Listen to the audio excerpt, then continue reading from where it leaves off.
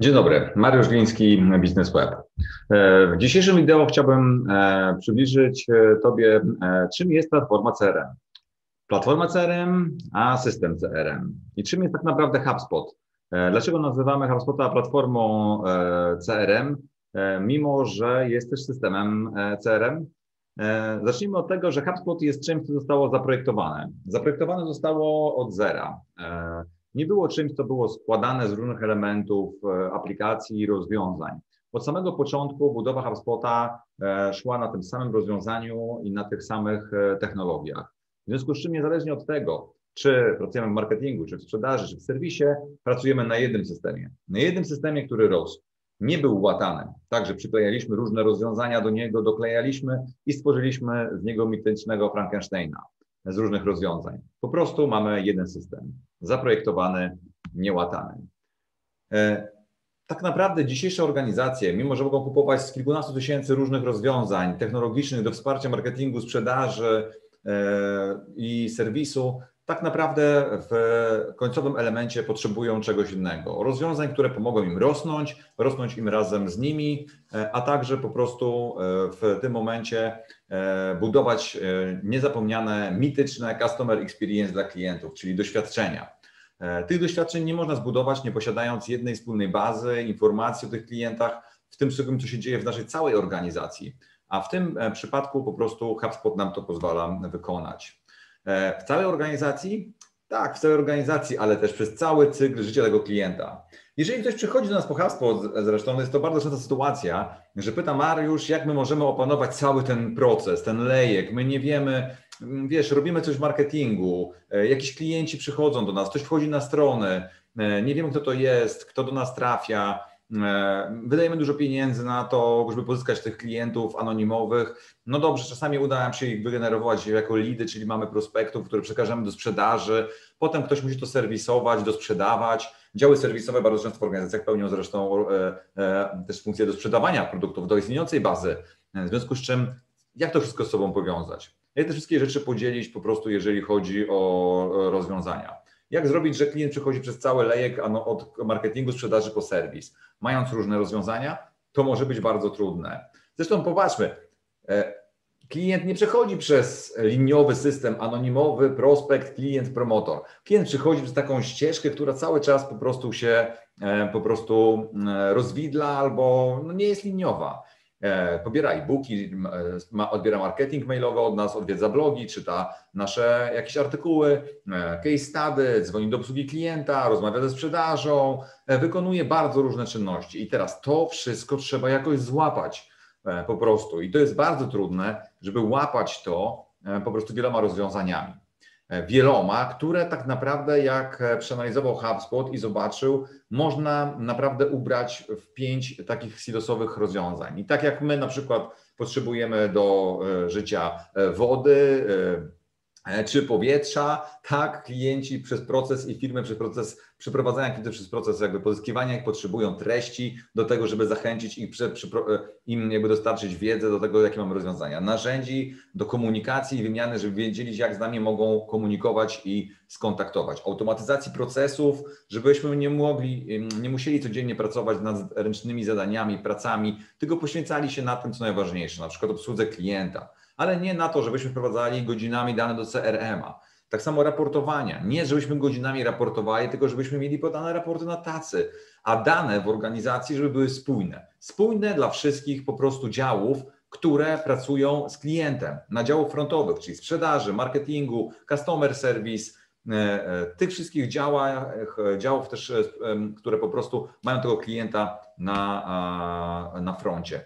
No i oczywiście na rynku jest pewnie z 12 tysięcy różnych aplikacji, które możemy wsadzić i umieścić w różne te elementy, tak? I organizacje tak robią, bo oczywiście e, bardzo w nich jest bardzo dobrymi narzędziami do tego mm, celu, do tego konkretnie jakiegoś jednego celu, który gdzieś robimy. W tym momencie. Ale umieszczając go w takim jednym celu, zapewniamy sobie ten jeden cel, który robimy. Ale na końcu przychodzą do nas klienci i mówią: Mariusz, ale po prostu my nie gadają nam te rzeczy ze sobą do końca. Poświęcamy bardzo dużo rzeczy na ten temat. No tak, bo zbudowali to sobie w taki sposób, że połączyli różne narzędzia w tej ścieżce z różnych. WordPressa, z landing page'ami, z Alexelami, z automatycznym marketingiem, z działaniami, tak? I gdzieś to obsługują i funkcjonują, tylko nie mają na końcu po prostu efektywności e, działań. E, Mogą też po prostu kupić rozwiązanie, które po prostu było nierozwijane od zera jako jedno, tylko poprzez przejęcia, poprzez działania. I też, które zapewnia bardzo dużo funkcjonalności i działań, aczkolwiek one są nadal trochę osobne. Nie mają wspólnego customer experience we wszystkich elementach, jeżeli chodzi o łączenie ich e, w tym momencie, tak? E, no i co tutaj się dzieje? Jeżeli mamy zbudowane przez nas albo przez to, że e, ktoś dostarcza rozwiązanie, które złatał z różnych przejęć e, oprogramowania, no to mamy silosowe narzędzia. Pracujemy na innych. Logujemy się do czegoś innego. Uczymy się każdego innego interfejsu, czyli mamy słaby UX. Mamy małą elastyczność wdrożeniową, bo zanim to wdrożymy następne narzędzie, musimy nauczyć, wdrożyć ludzi i, że tak powiem, to wszystko opóźnia. Przecież my nie mamy dzisiaj tyle czasu, żeby spędzać lata na to, żeby wprowadzać nowe aplikacje, nowe rozwiązania do organizacji, uczyć się tego i jeszcze na dodatek, jak nam odejdzie ktoś z pracy, to traci wiedzę na temat tej jednej aplikacji i nie mamy e, po prostu kim tego robić. W HubSpocie, jeżeli nauczymy się czegoś jednego, na przykład automatyzacji pewnych procesów, to możemy pomóc koledze ze sprzedaży, marketingu i serwisie. Tak jest u nas, jeżeli chodzi o personel, który specjalizuje się w architekturze HubSpota może być skierowany do projektu serwisowego, sprzedażowego i marketingowego. Pomoże tym osobom e, generalnie ustawić system. Oczywiście musi być pewne wsparcie też procesów, żeby ktoś się znał na procesach sprzedażowych, marketingowych, tak? Ale jeżeli chodzi o to, żeby zautomatyzować później to wszystko, to jedna osoba absolutnie wystarczy. Mamy wysoką elastyczność, mamy dobry UX i nie mamy e, silosowych narzędziach. Dlatego, że HubSpot jest inny.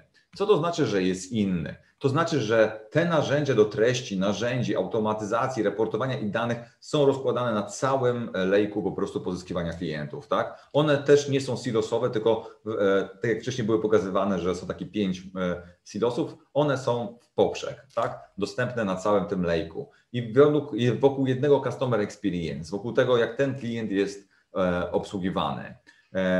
Bo HubSpot jest zaprojektowany dla wzrostu. HubSpot rośnie e, z Twoją firmą, tak?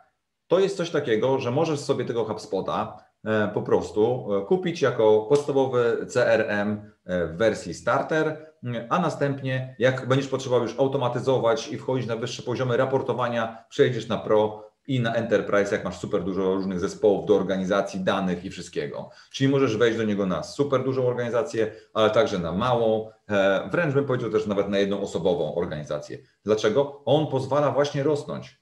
Jak rosnę razem z HubSpotem? Zaczynam od początkowych, albo od średnich, albo wysokich, zależy gdzie mam dojrzałe swoją organizacyjną i rosnę z HubSpotem. On jest zaprojektowany dla wzrostu. Daje nam jedno źródło prawdy o klientów, łatwość połączenia działów frontowych, jeżeli chodzi o dane, o procesy, marketing, sprzedaż, serwis. Mamy wspólny interfejs dla wszystkich działów, szybko wdrażamy, e, szybko uruchamiamy, szybko uczymy personel, krosujemy możliwości funkcjonalności wiedzy pomiędzy poszczególne e, e, moduły HubSpota, tak żeby po prostu jeden pracownik był w stanie pomóc też w wielu miejscach, jeżeli jest taka potrzeba. Jest szybka adaptacja, czyli po prostu mając uproszczony interfejs. Jeżeli byśmy zobaczyli interfejs HubSpota, nawet wersję Enterprise, nie zobaczymy tam menu z tysiącem funkcji, która jest. Tak? To jest e, prosty e, system, ale też skomplikowany pod tym kątem, że służy do skomplikowanych rzeczy, sprzedaży czy marketingu, e, działań serwisowych w tym momencie, więc ma też dużo funkcjonalności, które takie skomplikowane rzeczy nam pozwalają zrobić. I co można zrobić także z tym wzrostem? Nie musimy od razu kupować wszystkiego, e, nie, całych pakietów od marketingu po sprzedaż i serwis. Możemy zacząć od tego, co jest nam potrzebne i poszczególne huby wdrażać tam, jak one są nam potrzebne. Czy w marketingu, to marketing huba. Jeżeli CRM jest sprzedaż, to sales huba. Jeżeli potrzebujemy w serwisie, to zaczynamy od serwisu. Mamy takie przypadki u klientów, gdzie wdrażamy to w różny sposób, tak? Ale jest jeden wspólny przypadek, e, który przychodzi do nas, jeżeli chodzi o wdrożenia HubSpota, który się bardzo często e, sprawdza. To jest taki przypadek, że ktoś przychodzi do nas po CRM-a, żeby mieć HubSpota, ale jak pyta mnie, e, czym się różni ten CRM od innych CRM-ów, to ja mówię, że oczywiście my mamy funkcjonalności tak jak inne CRM-y i można sobie te CRM-y wdrażać, ale nasi klienci nie przychodzą do nas po to, żeby wdrożyć CRM. Oni przychodzą, żeby wdrożyć marketing i sprzedaż na jednym systemie. I to jest bardzo częsta sytuacja, kiedy mamy właśnie marketing huba i sales huba razem. Jeżeli ktoś zobaczy, że ma system CRM i może mieć marketingowe funkcje na tym CRM-ie tak samo i wspólnie marketing i sprzedaż może działać, to mówi tak, ja chcę połączyć te dwie rzeczy. I zapomina, że wdraża CRM-a. Co wtedy wdraża? Platformę wdraża. Platformę CRM, bo właśnie platforma CRM to jest coś takiego, nie że CRM dla sprzedaży, tylko Customer Relationship Management, czyli zarządzanie relacją z klientem. A z relacją z klientem zarządza i sprzedaż, i marketing, i serwis, dlatego pracuje na systemie CRM w środku HubSpota, ale jest wszystko platformą. Platformą zarządzania relacjami z klientem e, w tym momencie. E, to nie jest wyspa też HubSpot. HubSpota można podłączyć poprzez API. Jest otwarte API i może do tego API podłączyć e, się dowolny system, który potrafi rozmawiać przez te API, czyli ma interfejs webowy. Czyli ktoś, kto dzisiaj potrafi budować interfejsy w internecie i łączyć się po prostu e, z innymi aplikacjami, połączyć się też z HubSpotem. Jest to wystandaryzowane, ogólnie światowo przyjęte, po prostu łatwe do zrozumienia przez kogoś, kto po prostu na co dzień pracuje w interfejsowaniu różnych rozwiązań e, SaaSowych. A jeżeli nie chcemy integracji, E, budować, to możemy sprawdzić e, marketplace HubSpota i znaleźć tam ponad 500 aplikacji, które są gotowe do integracji. Na przykład telefonicznych, e, które mamy i, w Polsce zintegrowane z HubSpotem, że telefonie można zintegrować z CRM-em, czy do generacji umów, czy też to do podłączenia się do kampanii reklamowych i wszystkich innych działań. Mamy możliwość integrowania wszystkiego. Tak jak powiedziałem, podsumowując, HubSpot jest platformą CRM, czyli systemem do zarządzania relacją z klientem. Od marketingu po sprzedaż i serwis, wszystko mamy na jednej platformie z jednymi danymi. E, dlatego, że e, permanentnie HubSpot prowadzi procesy badania i rozwoju, analizy potrzeb, zmian rynkowych i wszystkiego, co jest potrzebne, żeby te huby, e, które nam są potrzebne do działania z marketingu, sprzedaży, serwisu i też CMS-a, czyli stron internetowych HubSpota, razem funkcjonowały, spełniając najnowsze oczekiwania branży i tego, e, co klienci potrzebują, jeżeli chodzi o realizację ich e, strategii. I właśnie to, co powiedziałem wcześniej, HubSpot nie jest CRM-em dla sprzedaży. HubSpot jest rozwiązaniem dla organizacji, która chce działy sprzedaży, marketingu, serwisu połączyć na jednej platformie i działać w obsłudze klienta na jednych danach, treściach, narzędziach, automatach i raportach. Wszystkim e, zintegrowanym w ramach jednego e, interfejsu. I oczywiście, jako platforma CRM-owa, ona daje podstawowe funkcje i wszystkie rozbudowane do tego, żeby zarządzać kontaktami, firmami, aktywną sprzedaż, aktywnością sprzedażową pracowników, dostarczać raporty, e, maile, telefonie, transakcje, zarządzanie jako takim typowym CRM-em, jakbyśmy go szukali, tak? E, ale jak będziemy chcieli do niego dostawić marketing, to zobaczmy, otrzymamy dużo narzędzi takich, które od razu marketingowiec widzi, że to jest coś dla niego. Blogi, SEO, wideo, social media, reklamy, live chaty, chatboty, smart content, landing page, testy AB. O, weszliśmy w świat E, marketingowe. I w tym świecie marketingowym właśnie znajdzie się e, po prostu e, marketingowiec, ale on będzie pracował na tym wszystkim samym, co sprzedaż. Czyli na przykład, jak będziemy chcieli szybko przekazać dane ze marketingu do sprzedaży, automatyzacja ta sama w HubSpocie przekaże do sprzedaży. Może nawet zakładać deal automatycznie sprzedawcy, jeżeli się okaże, że to jest jakiś super ogrzany klient i spełnia kryteria tego, żeby tym dealem się stać. Marketingowiec dostaje narzędzia wszystkie w jednym, i może zabić tego swojego Frankensteina marketingowego od landingów, mailingów, raportów, social media, wszystko mieć na jednym, e, szybko połączone i wdrożone. E, ponieważ Marketing App jest częścią e, HubSpota platformy, więc możemy używać te dane do automatycznego segmentowania, automatyzację do ocieplania leadów, tworzyć treści bez pomocy deweloperów do zmiany strony, bo mamy gotowe szybkie edytory do budowy mailingów, landingów, Możemy oczywiście też odpowiedzieć na pytanie, a co mi daje ten Facebook? Ilu klientów? Ile pieniędzy?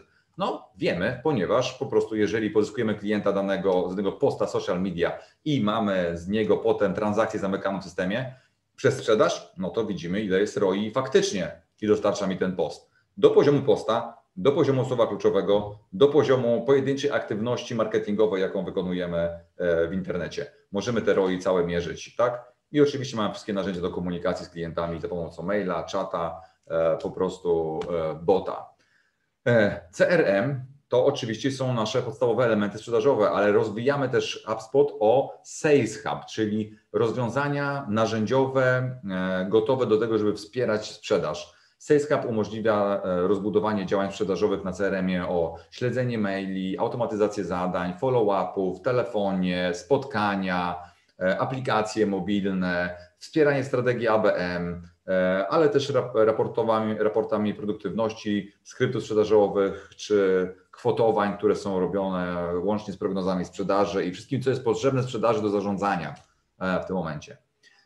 Co jest istotne, to jeżeli uda nam się rejestrować telefony, maile, spotkania i deale e, i transakcje w HubSpocie, to naprawdę dostaniemy 80% raportowania wtedy już. Zróbmy tylko te cztery rzeczy i będziemy już mieć po prostu bardzo dużo wiedzy na temat, jak działają nasze procesy sprzedażowe. Tak samo do tego nam właśnie będzie pomagał Sales Hub.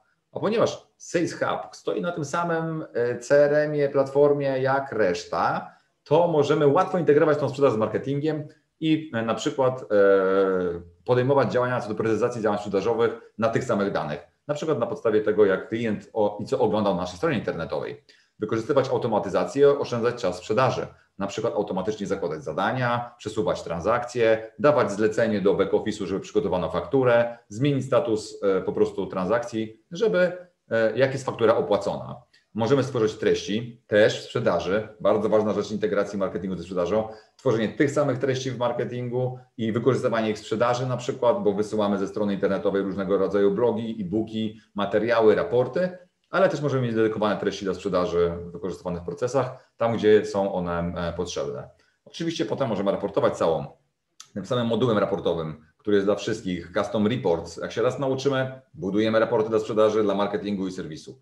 No i mamy też komunikację na całej ścieżce klienta, czyli po prostu od tego, że on na razie był tylko zainteresowany czymś, czymś na stronie internetowej, po faktycznie już zamykanie transakcji e, z klientami. E, I trafiamy też w HubSpocie na coś takiego, co nazywa się Service Hubem, obsługą klienta. E, można sobie go wyobrazić jako elementy związane z tym, że budujemy jakiś serwis dla klienta, obsługę, że on może nam zgłaszać rzeczy, ale tak naprawdę widzimy dwa stream, takie elementy wchodzące do tego, czym jest Service Hub. Pierwszy element to jest taki, że bardzo często organizacje wykorzystują ten serwis hub do integracji sprzedaży z, z back-office'em.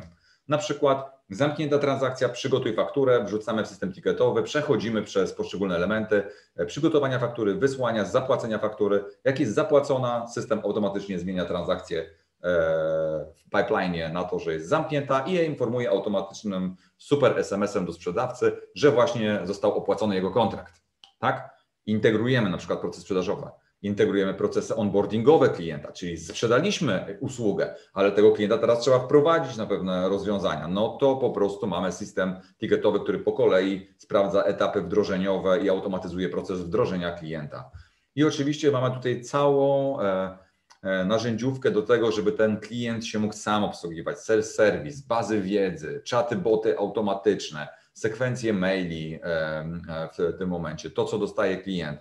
Możemy po prostu też e, zrobić i dobudować na stronie automatyzację procesów jakby samoobsługowych e, tych klientów, tak? Ale podsumowując, serwis chyba możemy nazwać systemem ticketowym, e, systemem do zarządzania zadaniami, systemem do zarządzania procesem jakimś, workflowem pracy, który jest w tych elementach. I tak jak powiedziałem, możemy go użyć i do procesów wewnętrznych i do klientów zewnętrznych i do takich integracji. Ten serwis Hub po prostu e, może być użyty wszędzie, dlatego że nadal stoi na tej samej platformie e, HubSpot, platformie CRM, czyli możemy zwiększać efektywność, zachwycać klientów i zarządzać retencją i wzrostem, bo jeszcze mamy w tym Service Hubie na przykład automatyczne ankiety NPS czy satysfakcji klienta, które będą wysyłane po spełnieniu pewnych kryteriów przez tego klienta. Jeżeli na przykład został naszym klientem, to NPS wyjdzie za 30 dni automatycznie do tego klienta, badając jak będzie nas często polecał.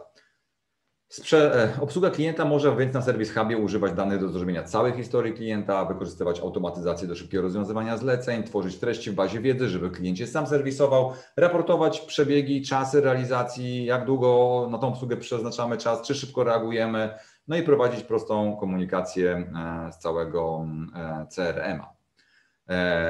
To wszystko możemy jeszcze na końcu połączyć w jedną rzecz, którą ma HubSpot. Ma CMS, czyli system do zarządzania treścią, czyli możemy zbudować nasze strony internetowe na HubSpocie, tak? I tutaj naprawdę otrzymujemy bardzo szeroki zakres funkcjonalności związanych ze stroną i z tym, co możemy budować. Przede wszystkim e, to, co, że mamy edytor do budowy stron, możemy to budować, podłączać różne mm, rzeczy, co nam się tradycyjnie ze stroną e, kojarzą, to tak, to to jest. Ale więcej to jest to, że ten CMS stoi na tym CRM-ie. Czyli po prostu wszystko z tego CMS-a, co jest, czyli jakie strony oglądamy, działania, co robimy na stronach, czy zostawiamy lidy, co robimy, wpadają do tego CRM-a, a CRM wysyła dane z powrotem do strony, na przykład, żeby zmienić wszystkie banery na stronie na inne, bo ten klient już rozmawia ze sprzedażą i teraz wyświetlimy mu w tych banerach case study, a nie naszego e-booka. I to będzie smart content e, u nas w HubSpocie, który automatycznie wymieni treści na tej stronie na treści dostosowane do klienta, ponieważ wiemy, na jakim etapie ten klient się u nas znajduje w działaniach. Oczywiście mamy wszystkie narzędzia do SEO, do czatów, do botów, do testowania, i po prostu takiej metodyki już twardej stawiania stron internetowych od SSL-ów, logów, bezpieczeństwa, zabezpieczeń e, i wszystkiego. I teraz można sobie tego CMS-a też kupić jako sam CMS, bez Marketing Huba, bez e, Sales Huba i bez Service Huba i na przykład mieć taki smart content na stronie, mieć nawet skorowanie klientów generalnie z tego systemu. Wszystko pada do jednego CRM i mamy kontrolę na temat, jak ta nasza strona internetowa naprawdę nam działa jako e, generator leadów, bo CRM, CMS HubSpot jest po prostu też częścią całej platformy. Możemy po prostu używać tych samych danych do personalizacji różnych informacji na stronie, automatyzować e, procesy pozyskiwania leadów ze strony i ich przystosowania, rozwijać treści, E, bez oglądania się na to, że ktoś musi nam to dobudować, bo sami sobie zrobimy kopię strony, zrobimy następne treści, następny landing, wykopiujemy rzeczy. Mamy super raportowanie tego wszystkiego, jak ta strona nam daje, co nam daje, jeżeli chodzi o materiały, jakby w generacji naszych leadów i wszystkich działań. No i możemy też co robić? Uspójnić tą komunikację z klientami na całej ścieżce, bo strona wie, na jakim etapie ścieżki znajduje się e, ten klient. E, I tak jak widzimy, te wszystkie elementy właśnie HubSpota, które tutaj mm, e, omówiłem i zrobiłem, polegają na tym, że jest HubSpot traktowany jako platforma CRM, czyli jedno miejsce do obsługi relacji z klientem, na którym możemy postawić marketing, sprzedaż, obsługę klienta, na tym jeszcze może stać strona internetowa i wszystko nam cały lejek pozyskiwania klientów obsługuje od A do Z, przechodząc i monitorując wszystkie dane i informacje pomiędzy zespołami. E, jeżeli e, będziesz e, chciał, żeby Twoja organizacja nabrała przyspieszenia i wzrostu, tego, żeby po prostu zaczęła likwidować super Frankensteina różnych rozwiązań marketingowych, sprzedażowych, narzędziowych, w których swoi pracownicy się czasami gubią, po prostu skontaktuj się z nami, a my krok po kroku pokażemy Ci, na czym polega HubSpot. E, taki HubSpot, który będzie dostosowany do Twojej organizacji, do takiego poziomu, w którym się ona dzisiaj znajduje. E, może być w innym poziomie w marketingu, w innym poziomie w sprzedaży, w innym poziomie w obsłudze klienta. Możemy dobrać każdego huba do określonego poziomu tego, w jakim się znajduje e, Twoja organizacja. Także pod dojrzałością procesów i dobre dla Ciebie rozwiązania. E, możesz kupować początkowe licencje w marketingu, zaawansowane licencje do sprzedaży, bo masz bardziej rozwinięte procesy, początkowe w serwisie. Jeżeli też budujesz takie procesy na początku, to wszystko można dobrać do danego wzrostu, ponieważ HubSpot rośnie razem z Tobą, a Ty rośniesz z HubSpotem. Zapraszam do kontaktu z nami i zobaczenia, jak może pomóc w wzroście Twojej firmy. Do zobaczenia i dziękuję za wysłuchanie mojego dzisiejszego wideo. Pozdrawiam, Mariusz Liński, Biznes Web.